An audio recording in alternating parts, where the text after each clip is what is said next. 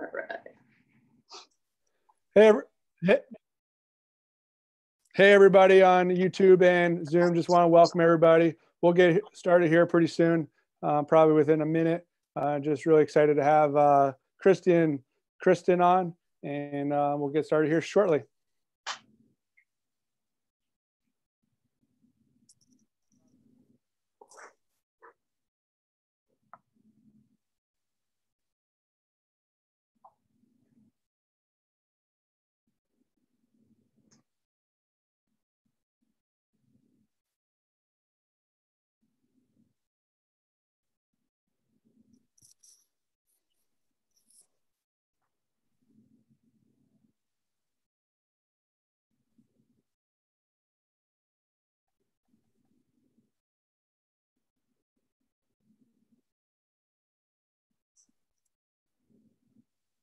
Kristen, Kristi, you ready?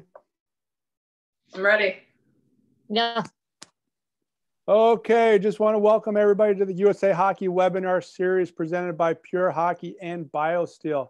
Uh, really excited to have our ADM manager for female hockey, Kristen Wright, on. And she's joined us with Kristi Kehoe, who's a coach for Lindenwood University. Um, so, uh, Kristen, do you want to introduce? You want to set this all up or? We can do it together. Yeah, I'm happy Okay. to introduce Kristi. Um, I mean, Kristi, why don't you start by telling us a little bit about your playing career in college? All right. Uh, yeah. So um, I went to Northeastern University, uh, 2007, graduated in 2011. Um, very fortunate to play a career there, especially out of California. Um, but um, yeah, it was a good time. I would like to think that I had a pretty decent career there, but I'll let Kristen, you can talk. Yeah. A little Hey, bit of uh, a goal score. Yeah. Kristi, I got a question. So you grew up in California. How did you Yep. get started in playing hockey out there? Did you play roller hockey? What What was your whole process of getting started playing hockey out there? Yeah, so I actually got started playing roller hockey when I was about four or five. Um, I didn't actually know ice was around me until I think I was around seven, and I went to a birthday party for one of my friends. Um, it was one of those on ice skating birthday parties, and uh, got got on the ice and fell in love with it. And that's when I kind of made my transition into playing both roller and ice. I started playing in house with the boys. Uh, eventually, started playing full time with the boys. Um, my parents actually were my family was awesome and we made a move to help that be closer to where we wanted to be um, and then i actually ended up playing both girls and boys starting around 12u um, i started playing on a girls team played with boys as well all the way through high school i played high school boys hockey uh, which was awesome And, so i had I, I had a little And- bit of both uh, to be able to work with Yeah. So uh, describe some of the differences between the girls and boys hockey that you saw, and how did that benefit you, being becoming the goal scorer you are you became at Northeastern? Yeah, it um I, playing with the boys was one of the best things I could have done. Um, I know it's kind of one of the big controversies that's out there in women's hockey right now and girls hockey. Um, I was in an area where I didn't necessarily have a choice, so playing with the boys um, was a blessing in disguise because man, I had to learn I had to learn to keep my head up. I had to learn to have good vision on the ice. Um, that is, I mean, we're talking about body contact today. Um, being able to use my body, protecting myself.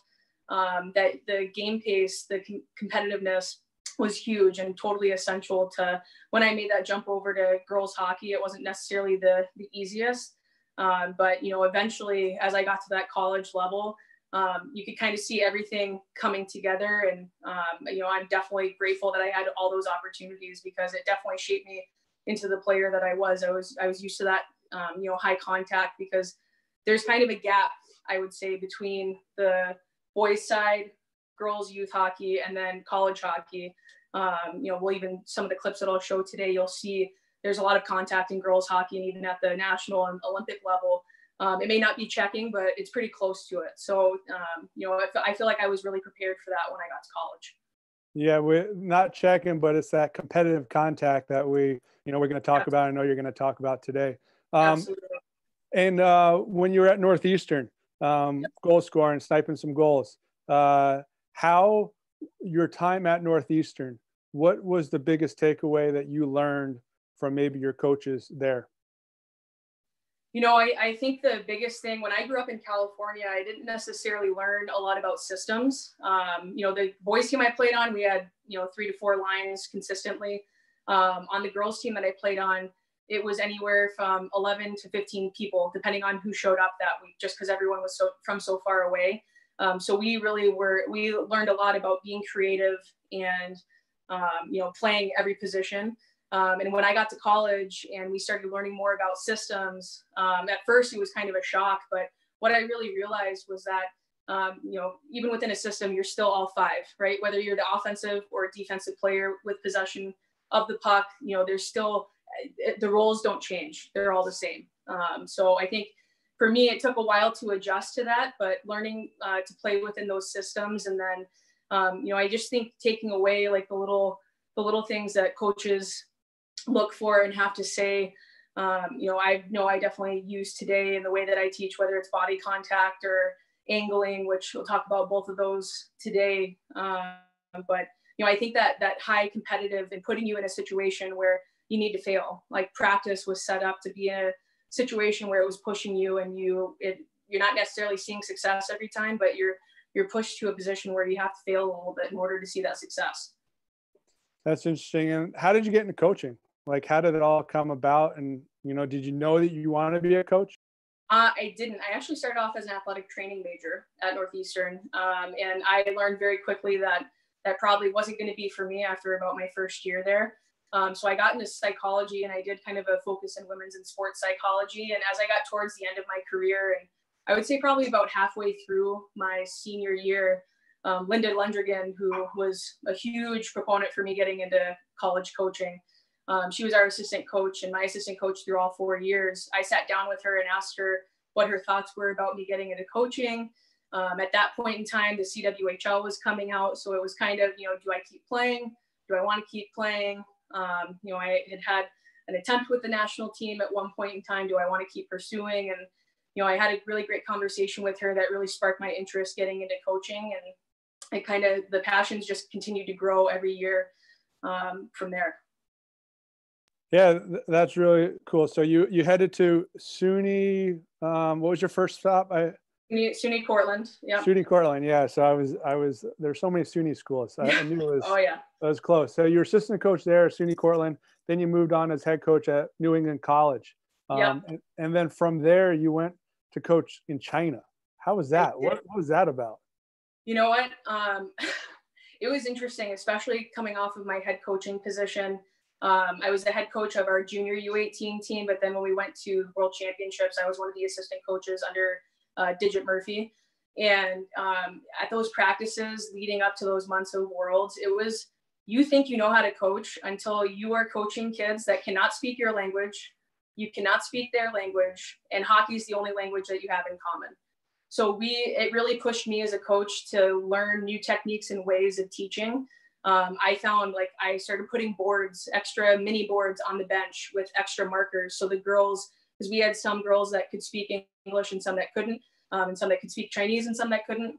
So we put mini boards for them. So if they got back from a shift and they wanted to communicate but didn't know how, they'd you know start using that to talk to each other and draw things out. Um, so we definitely we, we had to get creative. Uh, Carrie Cohen was with us on that adventure as well. So we her and I definitely lived through a lot together. But it was, I mean, I wouldn't trade it for anything. It was a great experience. It definitely made me a better coach.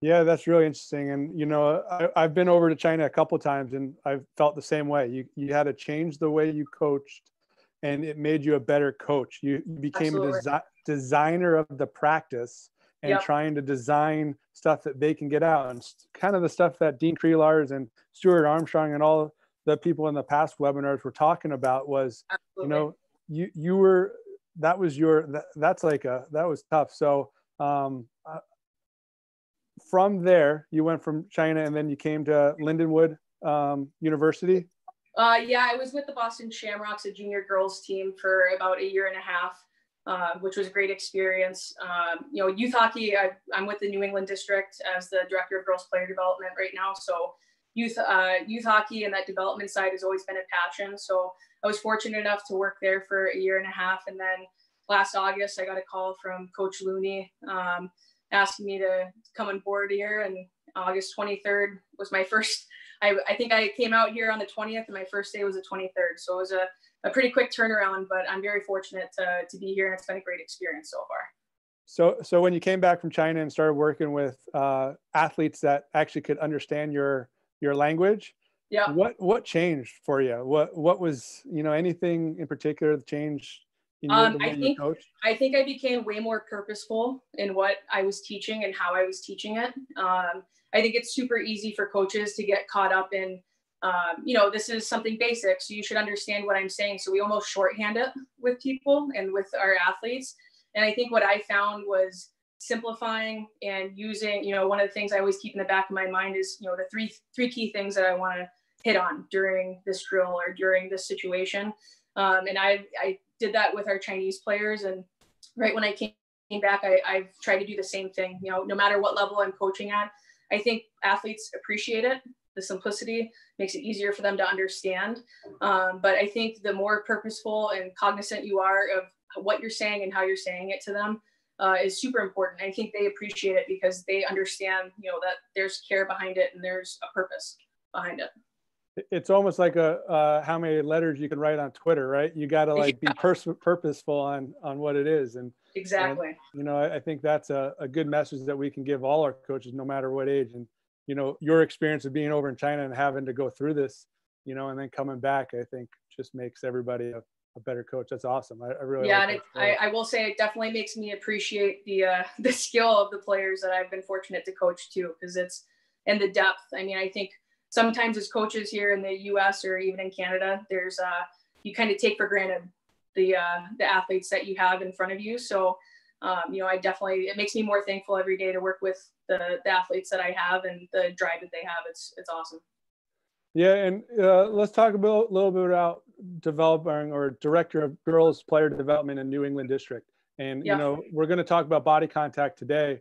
You know, where does and you touch briefly touched on it. Where does that fit in in the, in the women's game? You know, in the contact checking. Yeah, you know, it's we obviously there's no checking allowed in women's hockey, uh, but I think anyone who's watched an Olympic game or a national level game knows that there's contact. I mean, even even during our games, you know, at the highest NCAA level, there's absolutely contact. Um, and I think what I've learned, you know, with the New England district, I've also been fortunate enough to help run the uh, 14s Eastern Select Camp, which is like a mini national camp for the Eastern Seaboard districts.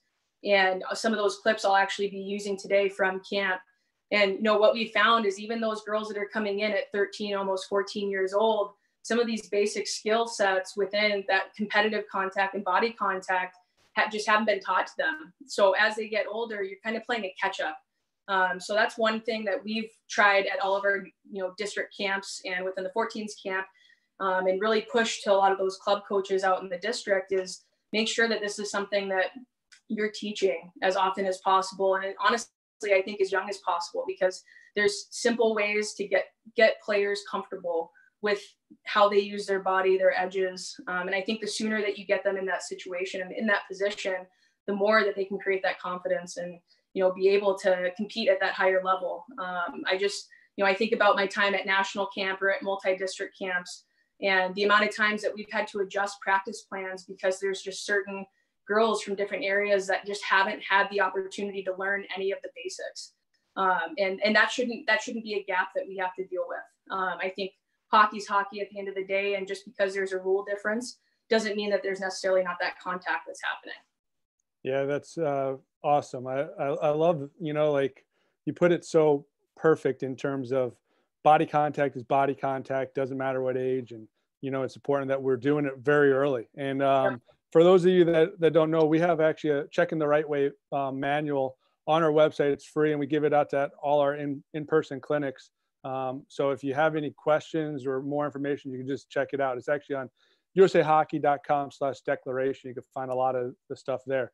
So um, unless Kristen, you have any other questions for Kristi, I think this might be a perfect time to dive into the skill, the timing, the purpose. Love it.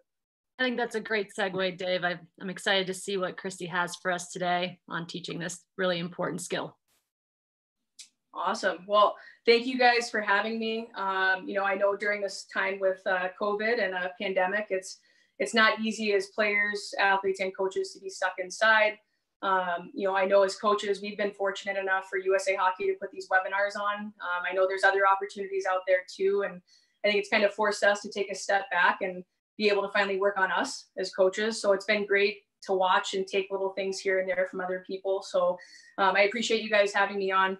I am going to be doing sort of a weather lady um, presentation today. I feel like with the video, this made the most sense and hopefully it'll come out clear for you guys. But, uh, you know, we talk, we're going to talk today about the skill, the timing and the purpose behind body contact. Um, you know, there's really with body contact and competitive contact, those are pretty interchangeable because at the end of the day, you know, you're competing for that puck. So what I'm going to do, I have two clips here that I want to show for you guys just to kind of introduce what we're going to be talking about.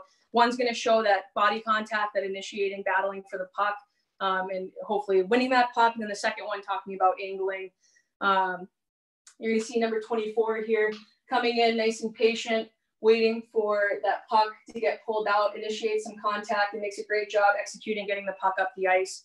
Um, you know, we'll talk about the skills that go within that, but I think there's so much importance behind getting players to understand, um, you know, we're not just going in to hit to hit or to contact to engage, we're going in with a purpose, right? And we want, at the end of the day, we want that puck back.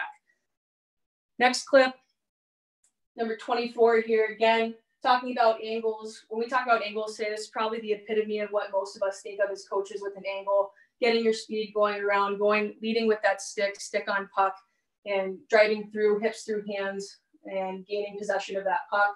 Um, you know, I think there's different areas of the ice that this can definitely happen, but to you know, as we get further in, we'll start to dissect a little bit, you know, what what goes behind that, what are the ways that we can get creative with it. So first, you know, I keep saying body competitive contact. Um, you know, what is that? It's legal contact that occurs when a player is focused, when players too are focused on gaining and maintaining possession of the puck. One of the things you're going to hear me talk about is possession of the puck. Um, I'm a big I'm a big fan of saying possession doesn't necessarily mean pucks on your stick. Sometimes it's where's the puck located in relation to our body. So as we talk about the offensive and defensive side of body contact, I'll get into that a little bit more, but you're going to hear that.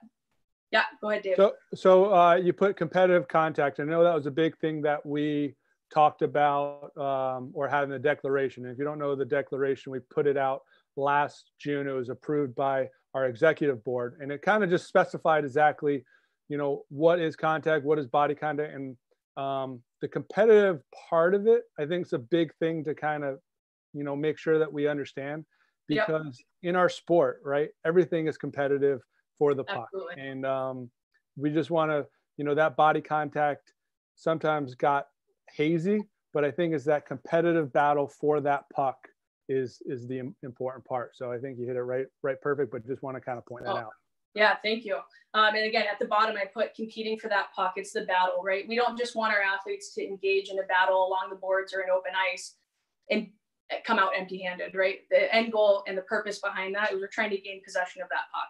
So why is it important? I talked about this a little bit um, when we were doing our Q&A at the beginning, but the difference between, you know, body contact and body checking you know, let's talk about that for a second. Body checking, we usually have that over hip, shoulder, um, forearm extension to create some sort of hit and contact. And I know, um, and Dave, you can correct me if I'm wrong, but I know that within body checking and the teachings behind that, um, there's been a big push to, again, talk about that competitive piece. It's not just about the hit, it's about gaining possession of that puck and creating the hit for the battle to gain possession of that puck. So I think even though body checking, body contact, or competitive contact, they're both different, right? There's still that end game of gaining possession of that puck. But today, again, talking about that body contact, competitive contact.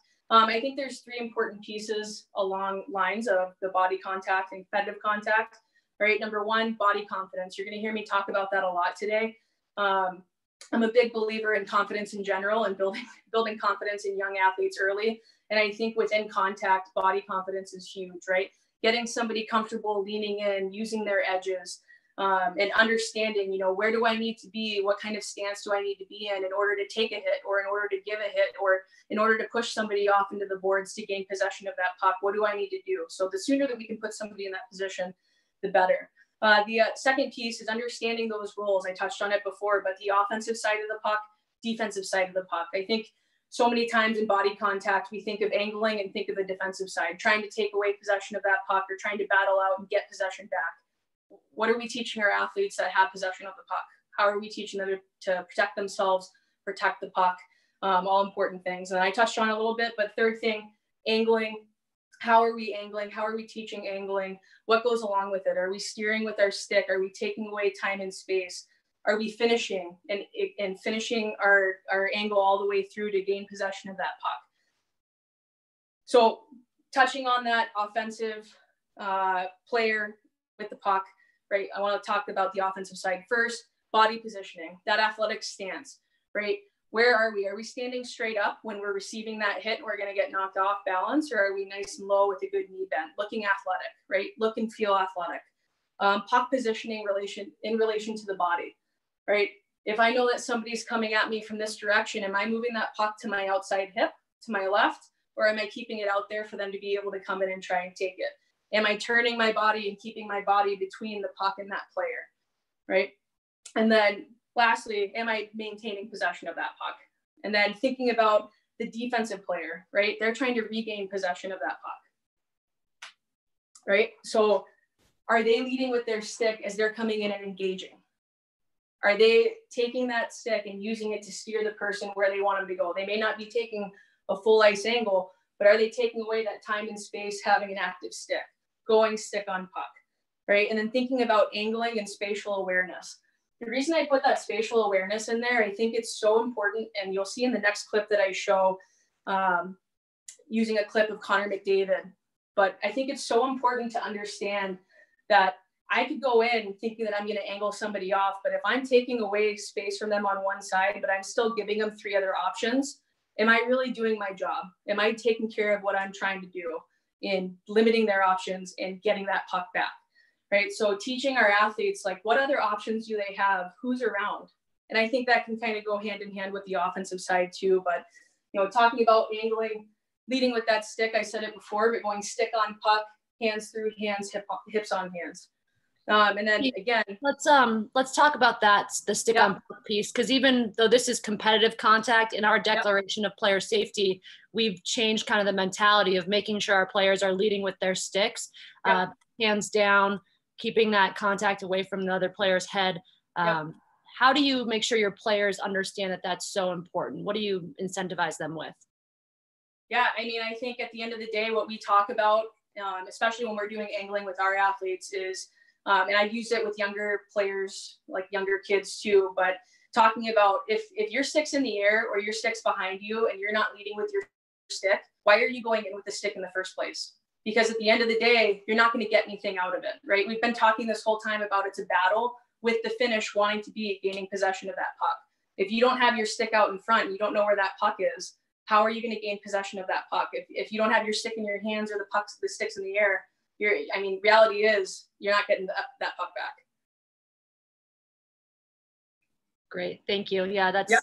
on what we're trying to teach kids and teach coaches how to teach no absolutely absolutely and, um, and, and, then, back back yep. when the nhl was still playing we if you really went and watched that game and you watch i mean you'll see on this clip and how many times their stick is on puck and they're really trying to have that focus that's an important part. And Coach Happer said it last week, you know, on, you know, focusing on that stick on the puck as well. And that's a major focus by the elite elite.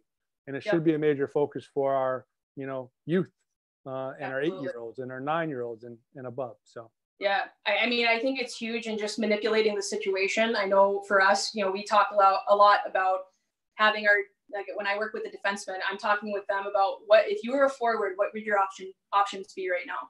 And I think getting players to understand both sides of the game, not just because they may be in that situation one day, but to understand how do I manipulate the situation in order to get the puck back. That stick's not on, on the puck. You know, how are you going to give the illusion that you're there? Even if you might be away, but you're starting to encroach on that space. If that sticks on on puck, you start to give that illusion that, hey, I'm, I'm right, I'm right there and I'm about to get that puck back. All right, so I'm going to show that clip of, of McDavid that I was talking about.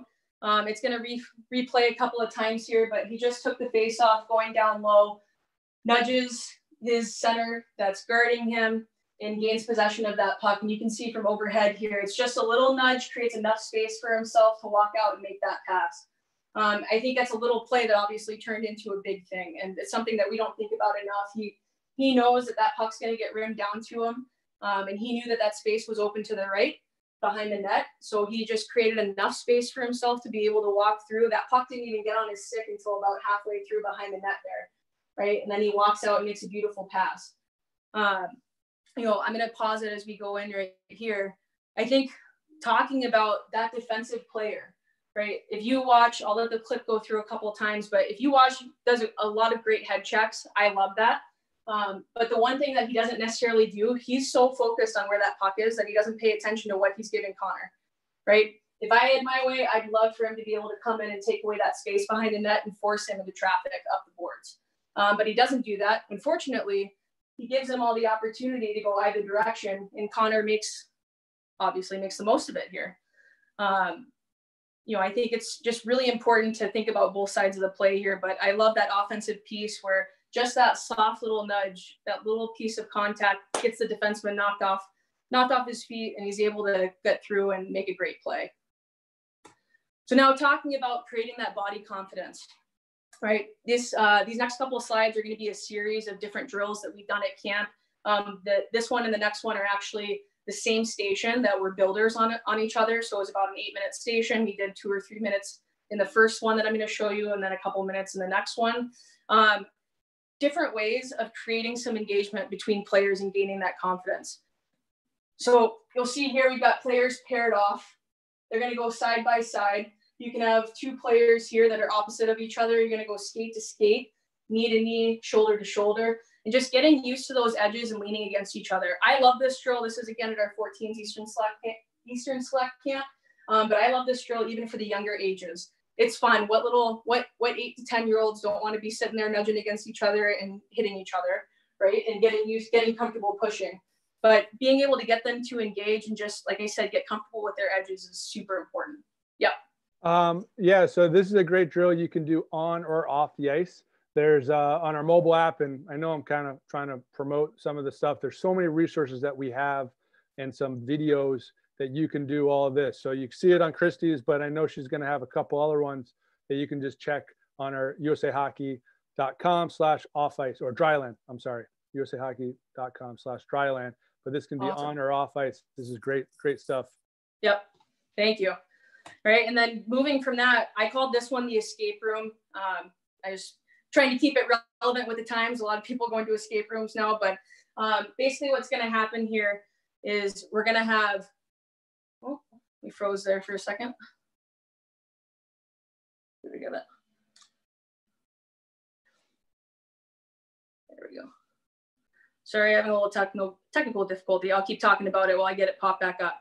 So what's going to happen is we're going to have somebody, just got to reconnect here. We're going to have somebody starting off on the dot and then off of the dot, around the dot is going to be a circle of players. You can have it as tight or as short spaced as you'd like. Okay, uh, with younger kids, I recommend starting a little bit tighter in. They're not going to have their sticks in hands. And what's actually going to happen is that they're going to end up, um, that player in the middle is trying to escape out of the dot, right? So they're trying to break that circle, and those players on the outside getting low, athletic stance, trying to escape outside the circle. The older your players are, the more, the bigger you want that circle to be. So that way it's tougher for them to have to move, use their edges, and get around. So, so Kristi, you yeah. set that up. I'm going to ask Kristen a question or two, okay. and then we can uh, work from there. So, Kristen, when you are working with these athletes at this 14, and you're working at the national camp and other district camps, you know, how often do you see that these athletes are doing off ice um, body contact stuff off the ice? Very rarely. Uh, you know, we have some, like you said, really good materials of off ice body contacts, which which really puts those younger kids on the same level without them being on the ice having to worry about their edges. That's a great progression into the on ice. But we don't see enough, especially on the girls' side, of kids who are doing body contact off the ice to not only gain that confidence, but build that athleticism that Kristi's talking about. So we'd love to see more programs doing it on a regular basis, once a week, 15 minutes. That's all we're asking, just right before or after practice uh, put them in their equipment, everything except for their skates. So they've got tennis shoes on, all their equipment, helmets, and you can go out there and do shoulder bumps. Um, and it's, you know, it's pretty awesome. That's cool. Yeah, that's really cool. And I think that's an important part for, you know, any age group, but you especially have a good handful of the ones that are coming from 13 hockey up until 14 that that checking really starts girls or boys. So, Kristi, you good? Guys, I appreciate you guys covering for me. You know, I, I tested this thing about 18 times and it was perfect each time except for now. So that's it was bound to happen though. So we're back in action here. All right, escape room. Just wanted to zoom in quickly before playing, just so you guys see we've got our player here that's in the middle starting on the dot. Um, I actually think it's funny in this video because the harder the girls on the outside felt like it was, the closer and more in tight they, came, they became. Um, so, you know, drawing a circle on the outside, getting creative in that way is definitely something you can do. Um, but I'll go ahead and play it here so you guys can see just how it happens. But you'll see on the whistle, they start far away. And then all of a sudden this girl tries to get out. Now we all just go in and try to, you know, take away that time and space. Um, so one of the things that we really tried to emphasize was short shifts here, about 10 seconds. But the coaches were really doing a great job of making sure if they got in tight like that, they blow the whistle, pull the girls out, make sure that they didn't have that opportunity. A couple add-ons to this is having the outside group actually facing away. So everyone's facing the outside. And then as the whistle blows and the girl in the middle is trying to escape or the player in the middle, everyone has to turn around and now they have to read and react to where this girl's trying to go. Um, so not only are they working together, but I mean, individually, they got to stay strong and make sure they're getting well. This next one is a fun one. Uh, I actually dedicate this one to American Gladiator. Great show from back in the 90s, if anybody remembers.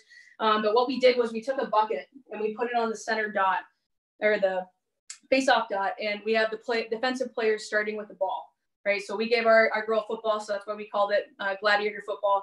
Everyone else is outside the circle. So if you're working with a younger age group, this would be something perfect to do and just draw a smaller circle on the inside. So that way it's a, a little bit of a shorter space and distance for them to work with. Um, but one of the reasons I love this drill is that spatial awareness for the person that ends up catching the ball and the defensive player. They have to figure out how far out can I come to take away that space from you and attack and engage, but not giving you the opportunity to get burned past me. Right. So you'll see here, um, these two get into a really good battle as the ball gets thrown out. And now you get nice and low. Obviously, we're teaching not using our hands too much or shoving through, but getting low. You see whites really having to use their edges, reds having to get creative, putting the ball through.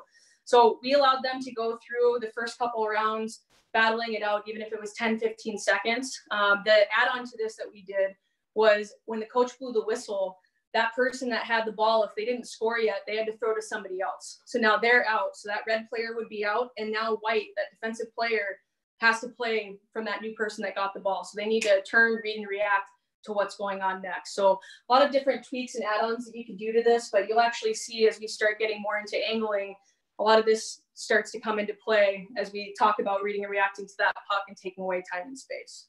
Yeah, and uh, Coach uh, Kehoe, I'm sure that you could add having a puck and make it actually a puck, and then having stick yep. on puck. You know, like that's a progression. I think is very good Absolutely. for you know that contact confidence and getting used to it and your edges, yep. and also it's skating it's yeah it's a skate it's skating it's edges it's exactly. you know they it's, they it's funny with our uh, our volunteer coaches that we had during when we were trying to teach them that drill a lot of them were getting excited and getting they're like can we demo it every everybody wanted to demo it but then we would end up having nobody for the stations uh, to teach them. So it was it was funny. At, at any age you know i think really the contact just makes it more exciting. The more you the more you teach it the more you find ways to keep everyone engaged. It's it's funny to see the smiles that kids have and they when they finally figure it out that aha moment is huge. So this is a, an add-on piece to that body confidence that we were talking about where the kids start side by side so we're going to have two players starting side by side here and they react to that puck getting pushed along the boards. And now in open space players have to get used to reacting and leaning into each other and creating kind of like that mcdavid clip where he had to create some space for himself right? Now they have to get into a puck battle for it. So what we did, the first layer was just if you win the puck, you skate it back to line, you win.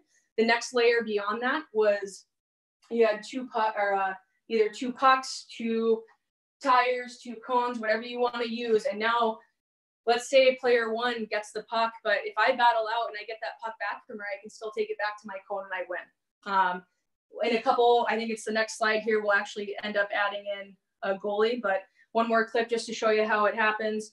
Again, you know, especially with the younger ages, you start to see a big size difference between um, athletes. And I think a lot of coaches shy away from that. I think one of the biggest things to understand is, especially in women's hockey, I mean, I got a six foot kid on my team and we've got a five foot kid on our team. So that size difference is always going to be there. And I think for the longest time, coaches have used that kind of as an excuse of not wanting to put people in bad situations. And the reality is, you're not putting them in a tough situation. You got to teach them how to work through that and how to use their bodies. Um, so on to the next one here, one-on-one battles. So what we did was we put a net in the corner. Got two players starting in front of the net facing the coach, similar to the last one. Coach is going to dump a puck to either side, and now they're just going to play it out. They're going to play some hockey with that end goal, putting the puck in the net. Um, first person to get the puck and gain possession of the puck is trying to score. That defensive player is trying to get that puck and pass it back to the coach. Um, couple add-ons that we have done of this was a defensive player having the opportunity to pass it to the last player in each line. So that way it's almost like two outlets on the breakout. Um, the offensive player getting to add a person. So you can add it into two on one, you can make it a two on two. Um, a lot of, lot of different tweaks that you can make to it, but um, you know, as far as building and making sure that you're adding in layers and, and giving the players a chance to grow, succeed, fail, grow, succeed, fail, and you kind of get them back and forth on putting them in situations where they get to really test themselves on how well they do. So, so you're bound to have penalties or yep. the, the girls, your athletes having penalties. How do you deal with that and how do you use it as a teaching moment for your athletes? Like, what do you do as a coach for that? Yeah, I or think a lot in practice. Things, yeah. Um, I think what we do is we kind of break down what happened. Um, I think a lot of times you know, sometimes it's just dropping that shoulder too much. There might be too much extension. Um, obviously, video is great. So for us, we go back and look at penalties that happened in games, and we'll show our players, hey, listen, here's here's what happened. Like, you know, you gave a little bit too much extension on there because a lot of times, and I know I probably did it as a player too. In the moment, you're like, oh, that was a beautiful angle. It was it was everything everything you've always asked me to do. In reality, oh, did I actually push my hands all the way through? I missed that part, right? We, we they kind of forget what's happening in the moment. So to be able to take a step back and talk them through and ask them what were they doing and why, um, I think gets them thinking and reflecting on, okay, what did I do? What actually just happened? How could I change it? Um, it's more of a conversation, I think, than than anything else. And Kehoe, sometimes um, with the especially with the older age groups, once you're trying to teach them to be responsible in those situations, yep. when we keep score during smaller games, Sometimes yep. we'll even give a point to the other team if a team takes a penalty before, and then we'll talk through it with the player. Just at yep. Older ages to get them to recognize that team element to, you know, absolutely penalties or especially stupid, dangerous penalties. Yeah, I love that. Um, one of the things that we also do in our small games is we've actually to allow our girls to gain some confidence with the pressure being on them. Um, I've I think I inherently became the ref. I don't think I meant to do it, but it just kind of happened throughout the season. But if I see a penalty or one that's like, especially a hit that's kind of extreme, what I'll do is I'll blow the whistle and that that person that uh, was like was fouled on um, actually gets a, like a breakaway shot or a penalty shot on net.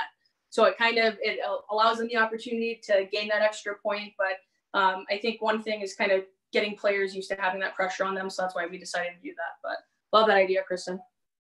Yeah, because I think it's really important for our players to understand what is a penalty and what's not in practice. Yep. And I think us as coaches, and I was a, a probably I did it too. I let too many penalties go, whether it's a stick infraction or whatever. I think it's, it's important for us to know the rules, you know, yep. and keep on knowing the rules, and that's how we're going to enforce it in games. Because we don't know sometimes, you know, the ref's going to call it, not going to call it, but we want to have that kind of very strict base that our players know, hey, this is a penalty, you know, and this is Absolutely. this is what should be called. So I think that's an important part. For sure, for sure. Um, next one here. So I talked at the beginning about how understanding that angling and contact happens in different areas of the ice. So what we did was we put two buckets out, and there's actually two lines on either side of the puck right now. Um, and when they are allowed to leave at the same time, there's no whistle. They leave on their own. They're going to come in and skate around the buckets, and coach is going to throw a puck out. Um, Unfortunately, this was the only video of the drill, so that's why I threw it in there. But these girls didn't necessarily engage as much as I wanted them to. Um, but the nice thing about having the boards in the back is obviously it's a backboard, so that puck goes behind them and they compete it out and play it out until the whistle's blown. So again, like I said, puck gets gets right past them.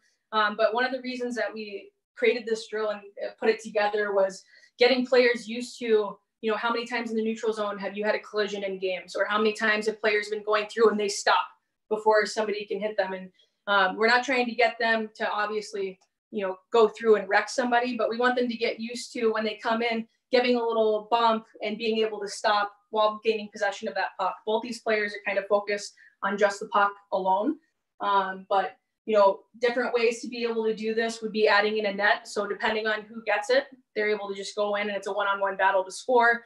Do it in different areas of the ice. Um, you can make it once the player gets the puck, add a person, go two on one, two on two. Lots of different ways to be able to do it.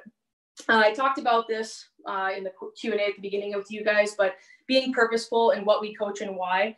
Um, I, I, have said it and I'll keep repeating it. I don't think it's ever too early to teach body confidence to your players talked about off ice and doing it on ice as well.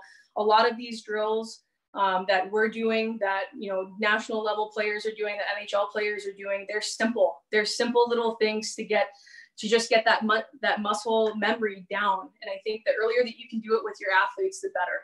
Um, you know, teaching them that athletic stance, getting them to understand and get comfortable with giving and taking because there are those two sides. Um, I think there's a lot of hesitation that unfortunately does lead to injury. Um, and obviously, players start at different times. So you may have a player that's been playing for five years that comes in and is playing with a player that has been playing for two. Um, at the end of the day, I think as coaches, it's our responsibility to make sure that we're teaching them how to engage and engage properly. Um, now I'm going to get into angling for a little bit here, talking about that good stick, good speed and patience and understanding that spatial awareness. Where are we on the ice? What are we taking away? Play this really quickly. I showed this at the beginning, but again, textbook open ice angle, keeping your speed going, stick on puck all the way through, and then battling through for that puck. Um, that was not a penalty. I know some people are probably going to ask that question, but uh, was was a clean battle on the boards. Um, that was our six foot Jada Burke that won the battle on that puck. And then another clip uh, looking at it from the defensive end, a D playing in the corner, you know, I think um, that skill of angling is just as important as that open ice angling and being able to maintain that speed because we're talking about containing our players and containing that puck. So number 22 is containing for a loose puck down there and waits for the right time to engage, force a loose puck, and try to gain possession back for the team. Um, couple drills we're going to go through here from national camp. So I thank Kristen for helping me out with this. Um, first one here is clock angling. So what's going to happen is we're going to have the red player down low is going to start off with the puck. The player opposite of her is going to end up coming in and angling, taking away either direction, forcing her to make a pass. You see we have four lines here. So this actually ends up turning into a continuous drill. I'll go ahead and play it through while I continue talking. Um, as that puck moves, right, the opposite player has to engage and interact. Um, as a warm-up drill, I think this is great. Uh, as, as a coach, our responsibility to make sure that kids aren't getting lazy, right? So that number 18 that just went through just took a beeline right to, right to the next line. So really making sure, again, not something that you have to be going full speed through being a warm-up drill, but making sure that we're getting that proper lean down, taking away that space. Our stick is a great manipulation tool, especially defensively. So to be able to force somebody and take away that time and space and take a good deep angle to be able to force that pass or force the puck to move, I think is huge. Yeah, and Kristi, that's another one that uh, we recommend coaches do off ice as well. You could do it with yep. in a street ball, or you can even do it with a, you know, like a dodgeball, and they toss it just to get them working on what it means to force that player up the side that you want them to. Yep, Absolutely. I love that. So next one, defend the dot. So Dave talked about adding in a puck, trying to get that person to attack and get that puck to the dot.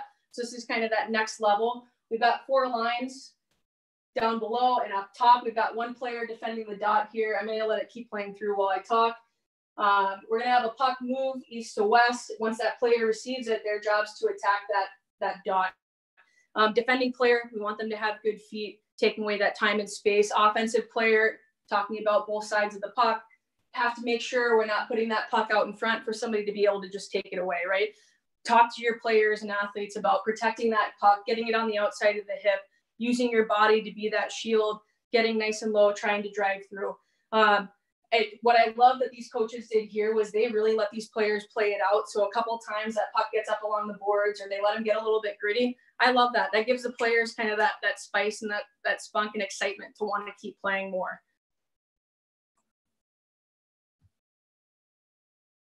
Another angling drill shot into an angle. We've got two different pads going here. We've got a low pad and a high pad. Player's just gonna walk out and shoot. Got the second player curling out. Here's a nice check, just so we understand the difference between checking and, and angling there.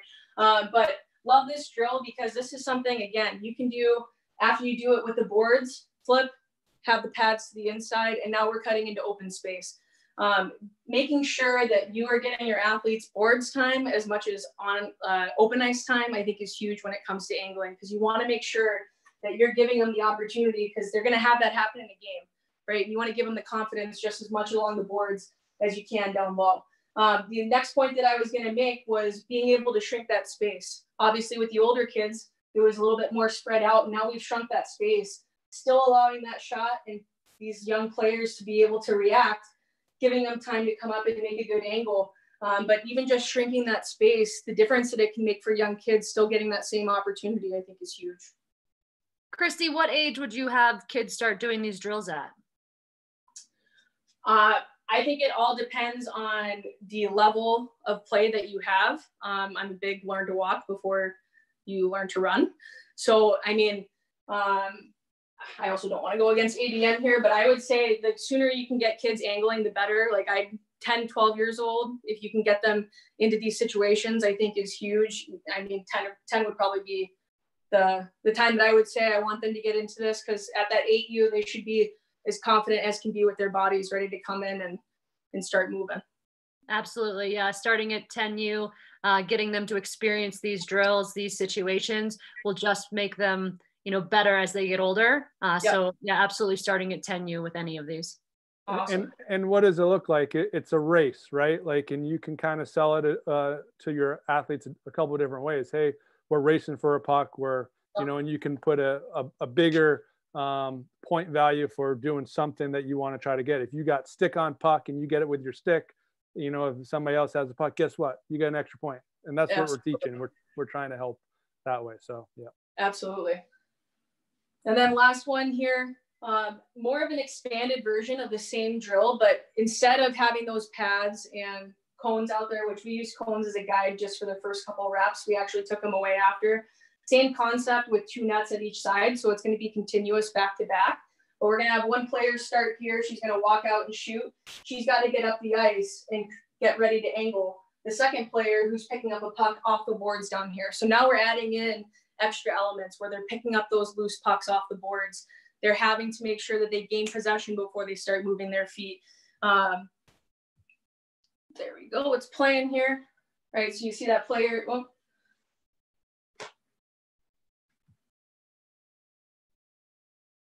While you're getting that to play, I mean, I love yeah. that you have this set up in the end zone. Uh, similar, we are just talking about, you know, playing 10U doing angling drills, body contact at 10U, but it's also important that cross ice space that we're p- playing with 8U and younger, you know, really takes away time and space and um, involves more body contact, more bumping at the youngest age levels as well. So, yep. you know, we want them to have that at 8U. And that's one of the reasons that we've implemented the cross ice at 8U is so that A, it's more game like for them, but also it'll increase their their contact confidence even at that youngest age levels. Absolutely. So now we got it playing. Thank you for that. So you see, I'll have this loop through again. I believe it's going to end up looping through. No, I'll click it again. Here we go. So as that player comes out and shoots the puck, it's her responsibility to get up the ice. Um, one of the biggest reasons why we say as the girls get older to take away those cones is put them in a situation where they have to think, oh man, did I take too far of an angle? Did I go too low? Do I have to play catch up with my speed? Um, it gives them that opportunity to now go through those processes from the defensive side. And then again, from the offensive side, did I pick up a puck? Did I take a good enough angle to get the puck? Am I slowing down? Do I need to gain some speed? Um, I'm a big big fan of allowing that opportunity to cut back and not saying you just go along the boards because never in a game would I want my player to just go along the boards if they have that option to cut to the middle of the ice. And last one here, um, I honestly do not remember what the name, I think this was urgency two on one, if I remember correctly here. Um, but what's gonna happen is we've had three players of red on one side, three blue on the other, two that don't have pucks from each team and one that does. The player that does have the puck is actually gonna turn out to be the defensive player should the two offensive players come in and get the puck back the way they should. They're, the two players without pucks are gonna actually cross sides. So red's gonna come over here and try to pressure contain, get the puck back, regain possession, get a good shot on net. Two blue players are coming down this way to do the same thing. Um, I love this drill because this is something, again, for younger players. You could totally twist this and turn it into a drill for them, putting the nets back to back on the dots here, cutting the space down. You could even start it off by making it, you know, one person, two on two, having one person from each side going without a puck um, instead of two on one, or even, sorry, excuse me, making it one on one. Um, so lots of ways to get creative. I, I, think that's the biggest thing. If I had a piece of advice, whether it was teaching body contact or anything, is don't be afraid to get creative with your drills um, and think a little bit outside of the box on what you can do. I think we all get so comfortable with what you know drills that we've learned in our time, and I think if you learn to tweak things a little bit here and there, you'll start to see that more more athletes uh, get engaged and are, are involved. So I think that concludes what I have for you guys. I Thanks don't know if there's one question. You talked a lot. A lot of your drills had an offensive player and a defensive player, and they yep. had you know specific goals. Like the offensive player was trying to score, the defensive yep. player needed to make a pass or carry the puck to the tire. Yeah. Uh, why have you implemented that transition into your drills?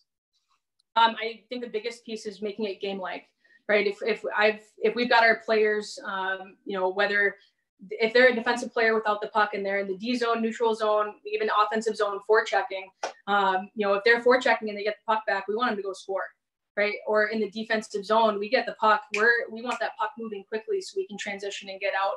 And I think on the flip side, the offensive player with that puck, I mean, what coach doesn't want pucks to the net, and what coach doesn't want players putting pucks in the net? So um, I think putting that extra little pressure on them to make it game like it's not just for this one reason. Yes, here's our purpose behind it, but we all know here's the greater goal of what we're trying to achieve.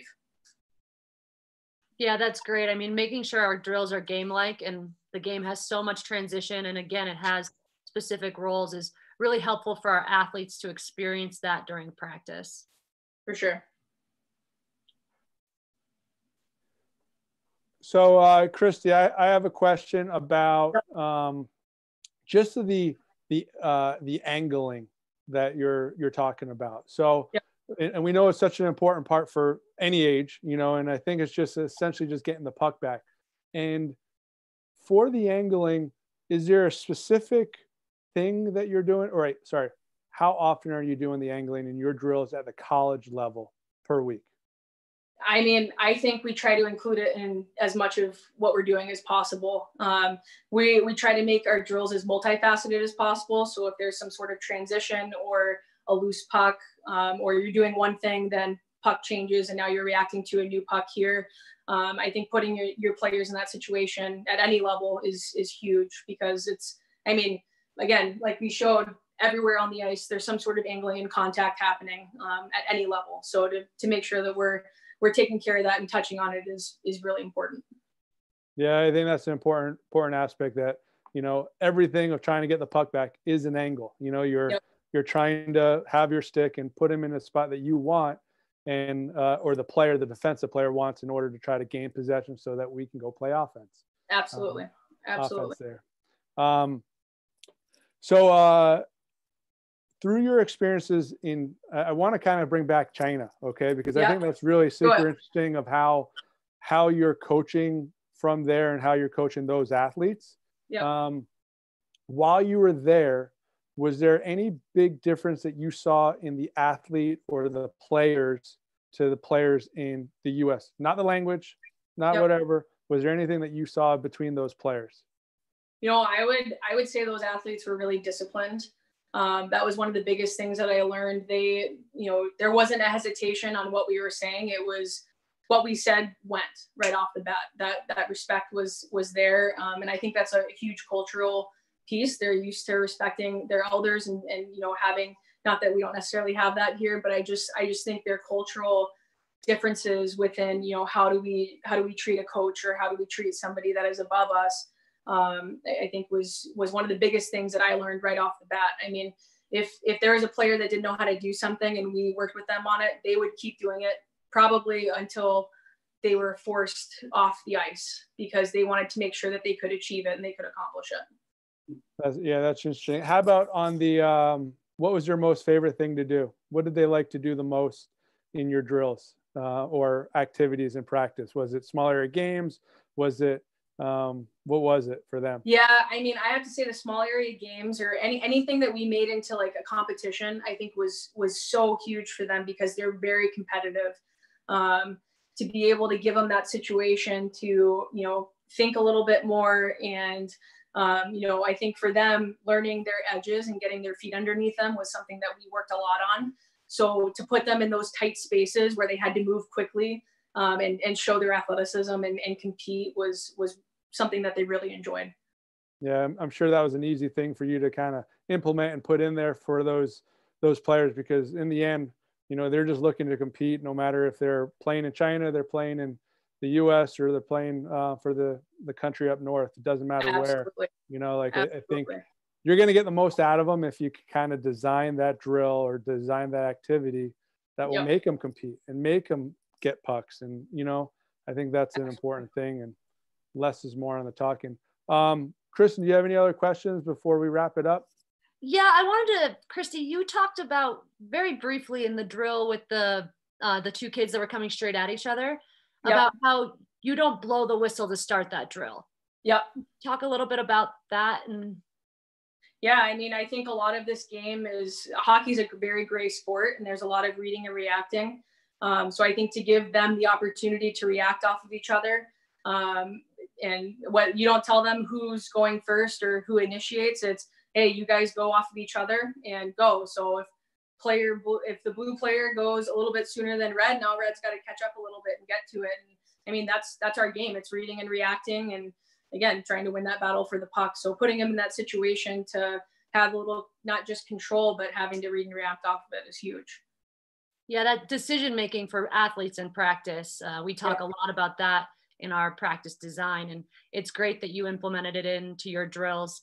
Uh, the other question, when we talk about teaching body contact confidence, um, how, I mean, puck placement in drills, how can coaches use um, loose pucks, new pucks to help encourage or promote body contact? Yeah, I mean, again, getting them to think about and read and react to what's happening and creating some decision making um, you know, whether a puck goes out of play or you just want to freeze that puck and have them play a new one, you know, forcing them out of the situation that they were in and getting comfortable with to a new one and having to read and react, I think is is huge.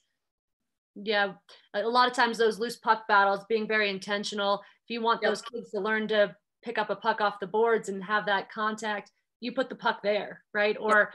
you can do a close loose puck battle to simulate a face off uh, all those little things to make your practice game like, but also to get you know what you want out of your athletes with each thing. You know, you talked about being purposeful, so we talk about that with loose pucks as well. Absolutely.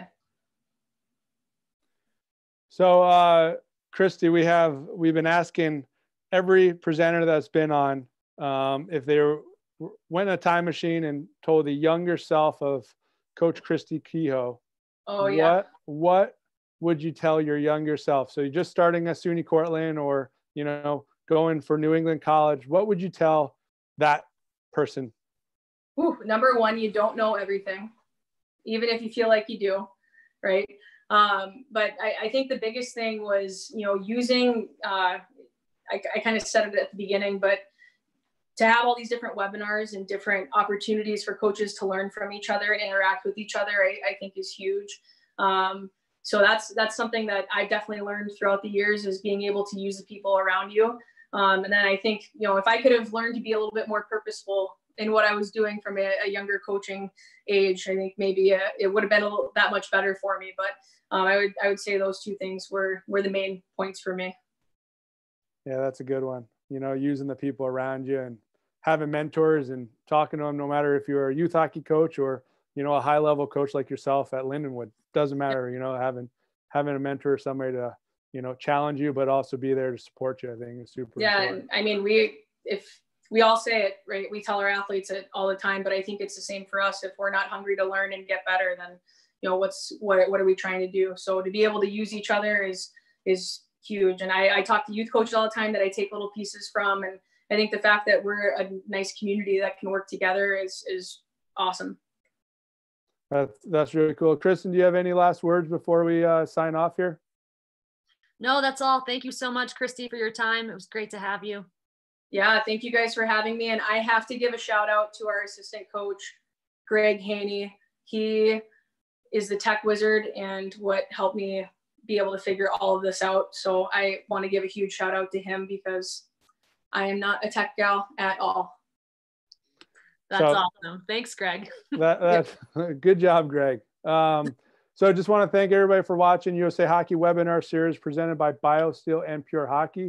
Uh, thanks for joining us. Tomorrow we have uh, Dr. Larry Lauer, and uh, he's a mental skills specialist. Um, and he has a, a, young 12 and under kid and team that he works with as well. So he'll bring, you know, stuff that you can implement with your team right away um, because he's living that. So, um, and then later this week we have uh, Ted Monish for our goalie nation crew on Thursday, and then on Friday we have um, Norm Maciver, who's assistant GM for the Chicago Blackhawks. is going to talk about his travels, his experiences, which are varied through the NHL, NCAA, but now at on the front office side and working on developing.